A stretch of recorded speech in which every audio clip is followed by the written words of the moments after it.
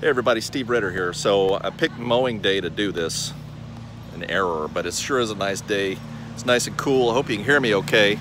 Got the mower going in the park, but this is Battery Park at Charleston. To do a little walking tour of some of my favorite places in Charleston, South Carolina. So, um, this guy's uh, mowing his grass. So I hope you can hear me okay, but just a couple of sights and sounds. Well, you get lots of sounds, but uh, a couple of sights and things around Charleston. So uh, this is Battery Park here. Um, now we used to bring, when I was stationed here back in the mid 90s, mid to late 90s, we used to come down here all the time. We bring my two oldest boys down here. And uh, these, these are live oaks right here. See the branches coming out. Beautiful live oaks. And we used to like branch like this, we would uh, put the kids on it, let them uh, let them play. But if you look here at the at the oak there, you can kind of see see the angles that they have. That's unique to the to the live oak in the southeast of U.S. And back in the the old wooden sailing ship days, uh, these these trees were prized. Like like um, this one in particular. See the see the angle there well, they would cut these trees down and these, these, these angles here, they would cut those out and those were the support beams underneath the ship that would help hold the decks up. So it's a whole lot stronger to have a tree that grows that way than it is to, to, to make it um, to make it that way, to put two pieces of wood together like that. So uh, ships built with using live oak, oak in itself is, is naturally strong, but ships using live oak in its construction were, were especially strong. So it was prized. Uh, and there's a lot of those around here. And you know, they look real old, but surprisingly, you know, these, these trees are probably maybe 50 years old, something like that. So a lot of them were blown down with Hugo, Hurricane Hugo, and they come back fairly quick. But uh, there's, the, there's one over on Johns Island called Angel Oak. Uh, you can look that up and see, but that's that one's several like four, five, 500 years old, something like that. So uh, anyway, uh, hope you enjoy the tour. We're gonna hit some sites and I'll kind of talk as we go along. It sounds like the mower's moved on now. So hopefully not so many sounds that you can't hear. So we'll be right back. So this is a 13 inch mortar used during the Civil War times. Um, these are the, the size of the cannonballs that would come out of it. Um, so these mortars would lob uh, shells and explosive shells. They were timed. The, the fuses they put in the in the in the mortars, they would light them and then fire them off, and time it so that the mortar came down and exploded where they wanted it to. So this is actually a Union mortar that they used to fire on Fort Sumter in 1863. Uh, but the the Confederate ones they used were similar similar design used to fire on Fort Sumter, and I'll show you that here in a in a second. So lots of old uh, Civil War cannons. That's, of course, that's an old cannon from a ship there, it looks like, but this is a big old boy right here. That'll cause you a world of hurt. Hit something like that, but uh, a lot of Civil War. They call this Battery Park. Um, and here we are out here, so it's pretty park. It's on the um, south uh, southwest corner of the peninsula of Charleston. So um, lots of old homes here, and I'll show you some other some other things here in a second. So Yeah, some dolphins in the harbor today. There's one. See if you see it popping up. Group of them there.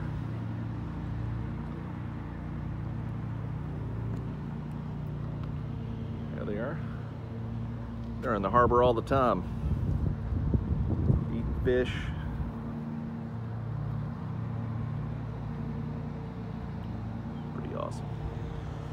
harbor view. This is looking uh, west up the up the Ashley River. Know, we used to call it the Trashley, but that's probably unfair. But uh, used to be up this river were plantations around here, uh, up the river a ways right where it turned uh, where turned fresh and they grew rice here now that is um, James Island, Johns Island over there. James Island, actually. So, all right, so this is the Battery here at Charleston. So a lot of old homes. This is Battery Park. So back in the uh, early morning hours in April of 1861, lots of mortars and cannons lined up here to fire on that. That is Fort Sumter, or what's left of it. Back then it was a three, a three-story fort in the mouth of Charleston Harbor. And the Union, well, the, the federal forces refused to leave, even though they were told to. So the Confederates lined up mortars uh, on over there. That's um, Sullivan's Island. Fort Moultrie is right there, which is, is like point blank basically. And then they had batteries over on James Island to fire on Fort Sumter. So they fired on it. And ironically enough, nobody was killed during the bombardment. I think there was one guy accidentally, the cannon blew up. They killed one guy uh, after the fact, but uh, they it until they finally surrendered. There was no hope, so. But this is the battery. When I was a cadet, we used to, this was the romantic place to go at night, walking along there, so as you can imagine why. So, so this is Castle Pinckney. It's an old, uh, the original Fort Garden Harbor back in, way back in the early 1700s. Um, they since moved uh, moved away from that. They put the forts over in the in the mouth of the harbor. So you had Fort Sumter and Fort Moultrie. Fort Moultrie is a famous uh, Revolutionary War battle back in uh, 1776, I believe it was, summer 1776. British tried to sail into Charleston and the fort fought them off. So famous, famous battle. And the commander of that fort was this guy, Moultrie. That's why they call it Fort Moultrie. So this is a view of the harbor from the battery. Always liked it out here. Usually there's people out here fishing. Wednesday about 11:30. Not too much going on. So when Hurricane Hugo came, this the ocean came right up over the seawall. So you have to worry about that when the time comes. But uh, beautiful though, beautiful homes. This is Bella's favorite home here, pink or peach. That looks pink to me, but. Uh,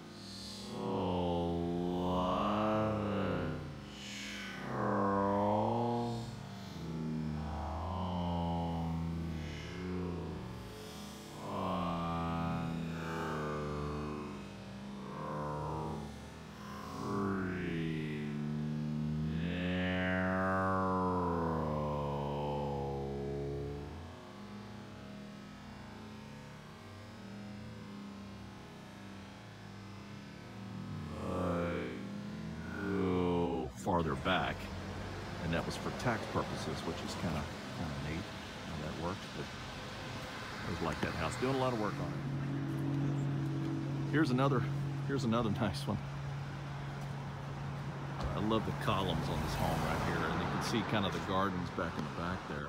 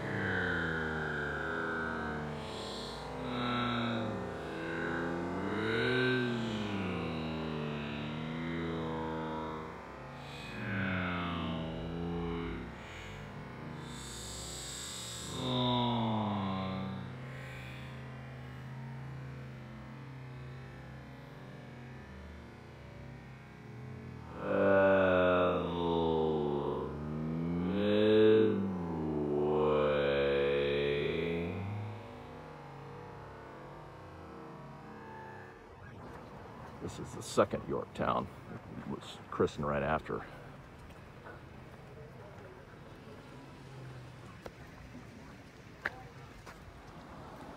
It's an interesting one here. Interesting home. There, a little different than the other ones. A lot of money here back then. Interesting fact, uh, I was reading that uh, that the value of, of slaves in 1850 was worth more than the entire production factory uh, value in uh, in America. So terrible time. Glad we're all past that. But, yeah, they got a nice chariot carriage tours around Charleston too. Best taken care of horses in, in the south right there.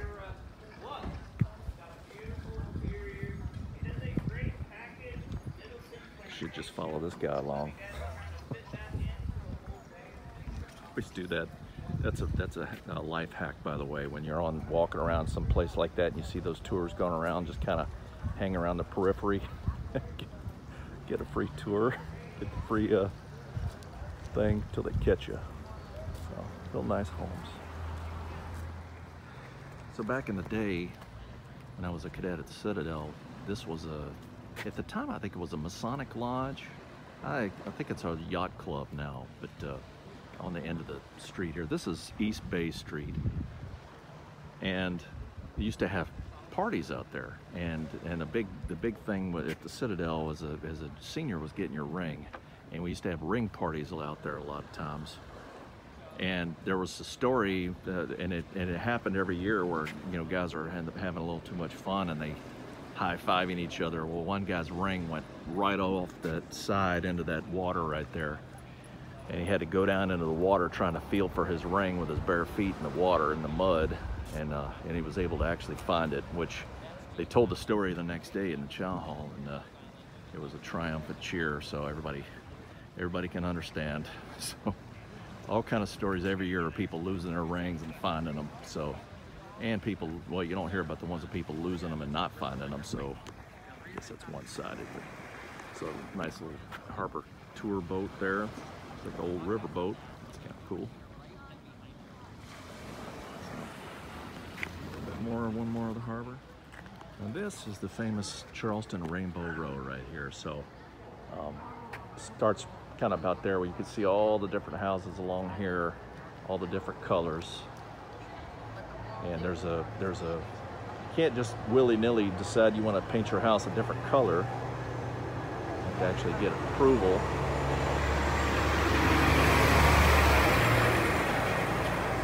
Sounds get approval from the town council so these so again like I said it's kind of a kind of a white elephant you know, it'd be great to have a house here, but man, you'd have to put up with a whole lot. So this is Rainbow Row, walking down East Bay Street. You could probably follow along on Google Maps and see where I'm at here too. Be nice. There's a musical, Porgy and Bess, that was written about Charleston down here. I've never seen it. Maybe some folks that no. Rainbow Row. We'll see some more here second. The ravishing Mrs. Ritter pointed out that this is actually Rainbow Row right here. This is the this is the one you hear about and see about. All the different colors. Kind of starts up there a little bit, but uh, some expensive real estate here. Rainbow Row. See why.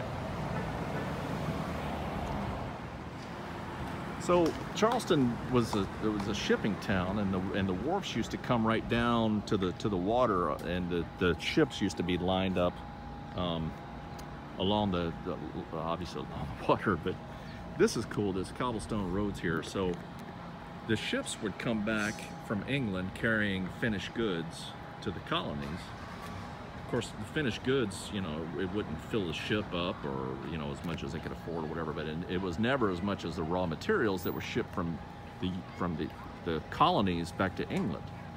So the, the ships would come over with ballast in their holds and they'd bring these river rocks there. And when they get off the, they pull the ship up and they take these river rocks off and they would use these to pave the, pave the roads. So these were cobblestone paved roads. And this is part of the old wall city that they discovered back in 2008. That's roughly where, where it was and they drove some some cypress poles in front of it as palisades and all. So it's much more of a walled city, a fort back then. But that, I always thought that was cool with the cobblestone streets coming in from the ships.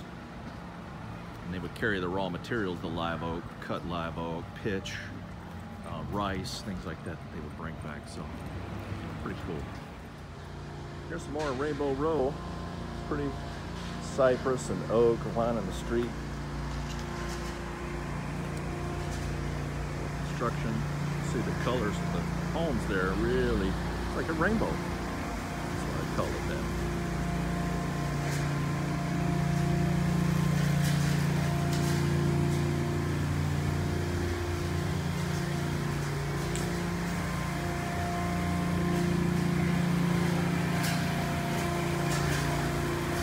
And a lot of upkeep keep these houses going. Some of these homes are pretty old see the view down that street.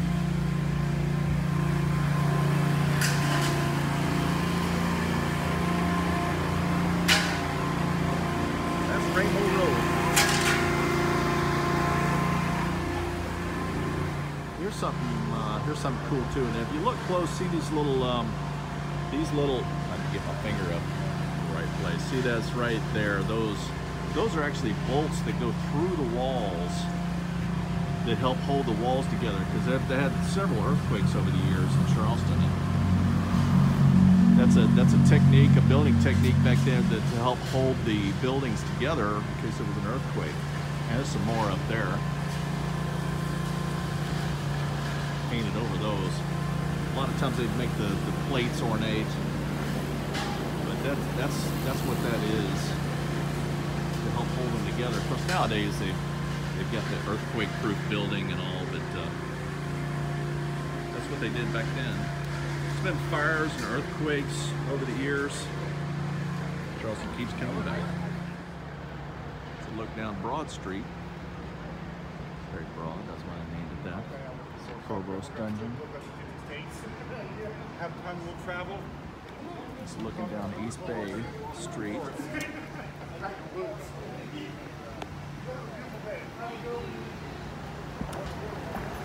That's Saint. Uh, that's Saint Michael's.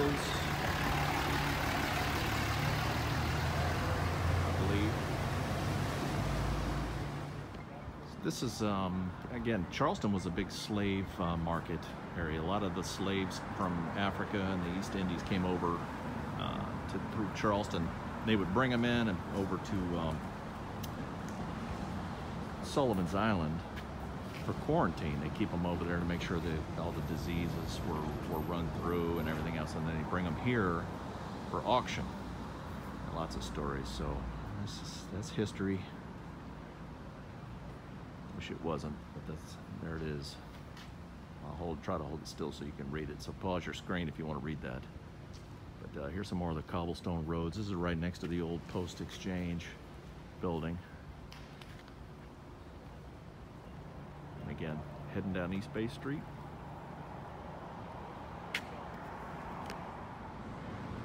Some more views. Downtown, this is a little bit more my stomping grounds. Back in the day. We would somebody to bounce it off of. Street side markets here, but we would come down. This used to be the East Bay Trading Company. It was a place we used to go, and I was usually go there as a as a young, you know, 21 year old, hang out there on the weekends. Nice view down the streets. This is a little bit more where we kind of hung out as cadets. A couple of places down here.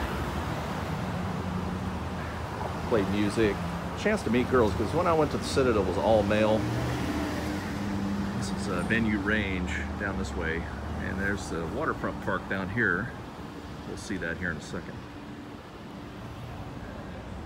That's changed a little bit, built up. Of course, that park wasn't there when I was a cadet. That's real nice. We'll see that in a second. But we would uh, come down here trying to meet girls because there just wasn't any females at the at the Citadel at the time. It was all male college till 94, 95, something like that. So um, this Magnolia's, this is probably our favorite higher end restaurant here in Charleston. Love it. They have good stuff. They have uh, blue cheese, potato chips, uh, bananas Foster there is pretty good too. So, still walking down East Bay towards the market now, so you can see the nice market. People getting out and about a little bit, all masked up. This U.S. Cus Customs House down here. Uh, this is on the corner of Market and East Bay.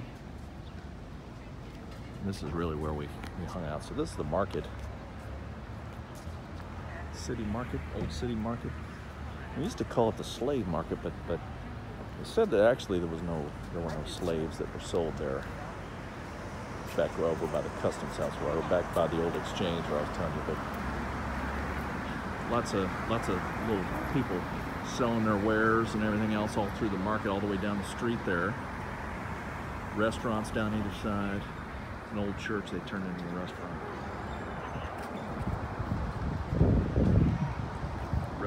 A couple bars. Okay. It's pretty nice here. It gets pretty busy when the cruise ship comes in, and uh, well, of course, before pre-Corona, it was pretty busy down here. But uh, usually, there's uh, it used to this market used to really only be open on the weekends when I was here. It's pretty much open every day now. People having their things here because there's just such a huge tourist industry now in Charleston. You can imagine why with all the, the people and all the things to see here, but. Uh, market we'll make that a time another day. Uh, we'll walk through there and see some other things so we'll go check out the waterfront park now. So look down Vendue name of the street Vendue Range. This used to be a uh, nightclub place called the Jukebox when I was a kid cadet here and now they've turned it into a hotel looks like they're building something else over here but this is the waterfront park real nice. It's a little warmer, you usually see kids, usually you'll see kids jumping in the water there and playing. This is a nice, uh, nice view out here. You got the Yorktown out there. So this is all new. Joe Riley, he was the mayor for from like 76 to like wow, like 2000 something. He was mayor for a long, long time. A lot of stuff named Joe Riley around here, but that's the famous uh, pineapple water fountain that you see in a lot of the Charleston pictures. Real pretty at night, which I, I found that technique lighting things with, with harsh edges, like uh, in Abu Dhabi, they would light underneath palm trees. Like these palm trees here, the ones they have there have the, see the things sticking out the side there, the old branches that they cut all the way down the side and they put a light up underneath it shining up the tree. It's a nice look. And that pineapple like that, lit like that, looks real nice. I like that technique, it's real nice. So there's Castle Pinckney, the old fort I was telling you about. And then off in the distance right there is Fort Moultrie. I'm sorry, Fort uh, Sumter. A nice little tour, go out and check it out. Got beat down pretty good. Um, these are these are little brass reliefs here that uh, kind of show what it looked like back in the day, 1700s, what the town looked like. This is the peninsula, Bay Street. This was where we started out, right here on the corner, back in the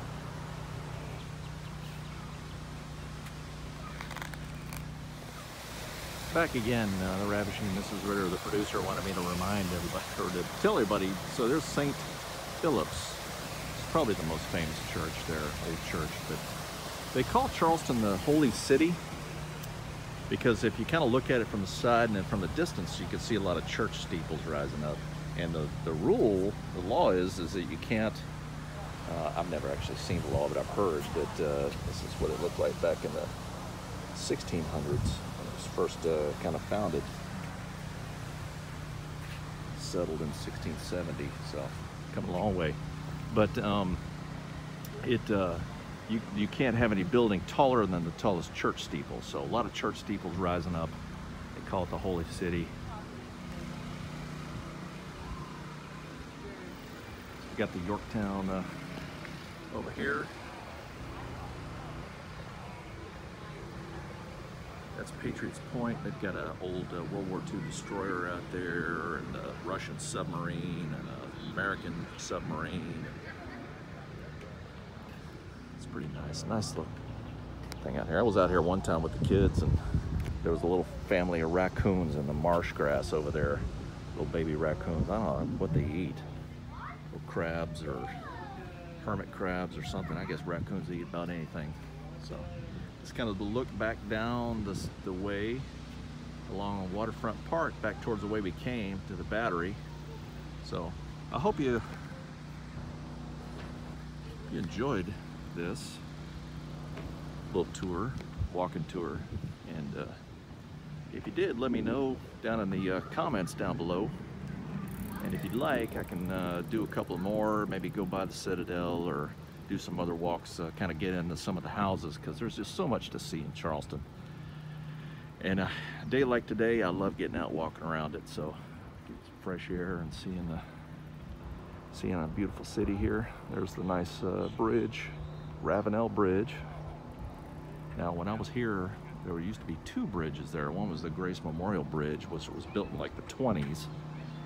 Two lane bridge that was pretty scary to drive over. Ravishing Mrs. Ritter never liked to go over that one. Uh, and they had uh, another more modern bridge and they tore both of those down and replaced it with the big Ravenel Bridge, which is a beautiful bridge. Looking back, there's the back of the customs house. Again, there's that hotel I was telling you about. So it looks like they're building something else here too. A lot of construction. So hope you enjoyed the tour and uh, let me know if you'd like to see more. I'll do more. And uh, until then, Steve Ritter signing off.